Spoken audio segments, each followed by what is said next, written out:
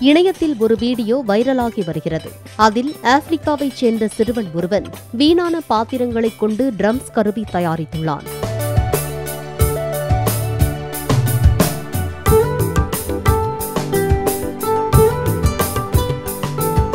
பின்னர் அதில் ட்ரம்ஸ் வாசித்தும் அசத்துகிறான். இந்த வீடியோவை பார்த்த பலரும் சிறுவனை பாராட்டுகின்றனர்.